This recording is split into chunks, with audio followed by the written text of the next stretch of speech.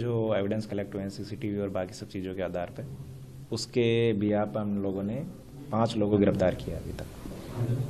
कितने अभी डिटेन किए हैं? क्या और रेड्स वगैरह चल रही हैं सस्पेक्ट्स को पकड़ने के लिए? कंटिन्यूस जो सस्पेक्ट आ रहे हैं जिनके खिलाफ एविडेंस मिल रहे हैं उनको गिरफ्तारी करने के लिए टीम लगी हुई है। शीघ्र ही बाकी लोगों को भी हम गिरफ़्तार करेंगे। सर, इसमें मास्टरमाइंड कौन है? या उसके सहयोगी कितने हैं? अब्दुल मलिक का भी नाम आ रहा है, उसकी क्या प्रोफ़ाइल है, क्या रोल था उसका? देखिए, अभी इन्वेस्टिगेशन एक दिन ही हुआ इन्वेस्टिगेशन चलते हो तो जितने तथ्य आ रहे हैं, जिस तरीके से जा रहे हैं, उस तरीके से हम कर रहे हैं। अब इन्वेस्टिगेशन में जब एक टाइम निकलेगा जब एविडेंस कलेक्ट होंगे उसके बाद में सब चीज़ों को जोड़ के देखा जाएगा कि सारे उपद्रव के पीछे कौन है और किसकी प्लानिंग के तहत ये हुआ है। तो उसके बाद हम कह पाएँगे कि इसके पीछे मास्टरमाइंड कौन है। सर अब्दुल मलिक की ही वो जगह थी जिस पर कब्जा किया हुआ था और सबसे ज़्यादा विरोध कर रहा था। अब्दुल मलिक पे हम जानना चाह रहे हैं क्या? ये बात सही है कि जिस जगह को तोड़ा गया था वो जगह का निर्माण अब्दुल मलिक के द्वारा ही नजुल भूमि पर करवाया गया था। तो अब्दुल मलिक के द्वारा इसका विरोध किया गया था।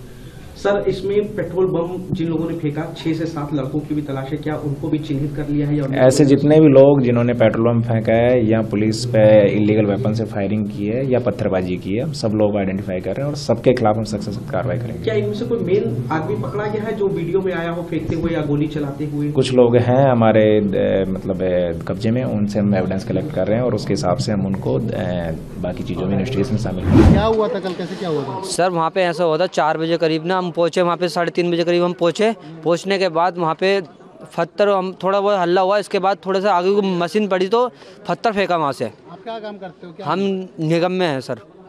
हाँ जी हाँ पूरी कर्मचारी। है हम पूरा सेवा वुवा कर सब कुछ रहता है।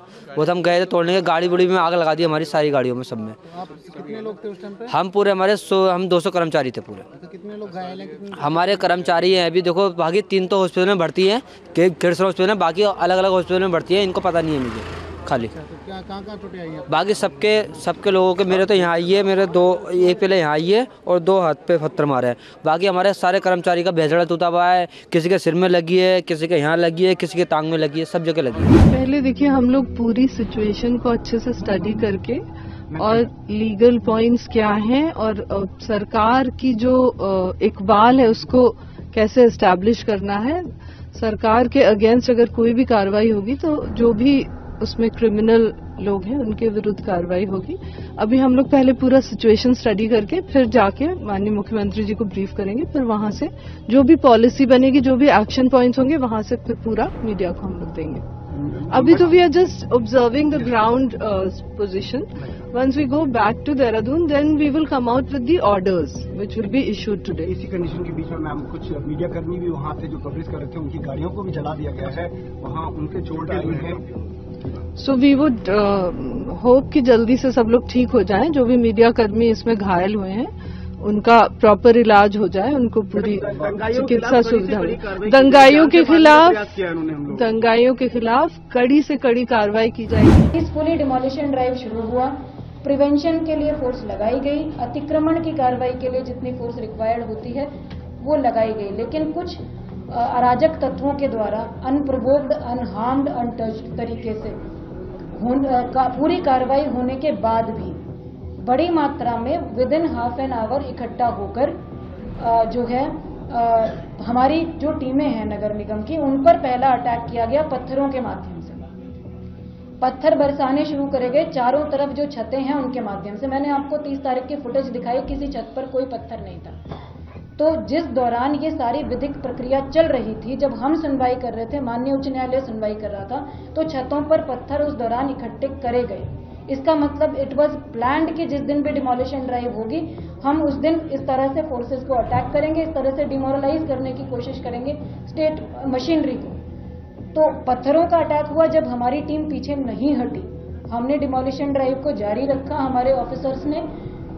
उसके बाद जब पहली जो, पहली मॉब जो आई पत्थरों के साथ, उनको डिस्बर्स कर दिया गया तो दूसरी मॉब आई जिनके हाथों में पेट्रोल बम थे, जो फ्यूल होता है, उसकी प्लास्टिक की बॉटल्स थी, उसमें उन्होंने आग लगा लगा कर फेंकी। आप लोगों ने वीडियोस में भी वीडियो फुटेज में भी देखा, आप लोग अभी तक सब कवर भी कर चुके हैं।